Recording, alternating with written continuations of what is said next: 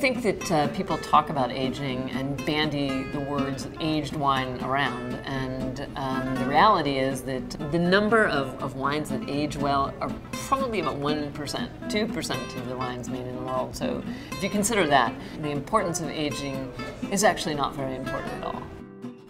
At the same time that aging is not important to most people drinking most wine, it's very important to a very discrete number of people in a, in a discrete number of wines. And those are the wines that are the great wines. The first growths of Bordeaux, Grand Cru Burgundy. Um, there are certain estates in California that Cabernets age beautifully.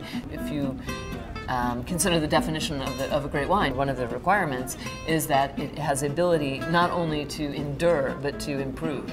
But there's a lot that goes into to being able to age a wine, finding the wine that will age, you know, um, keeping it in, in, in, perfect storage conditions, selecting a wine to go backwards that has a track record. You're not just arbitrarily aging because you want to think maybe in 10 years it could turn into something, but a wine that there's reason to believe that it would actually uh, benefit you know, from, from cellaring.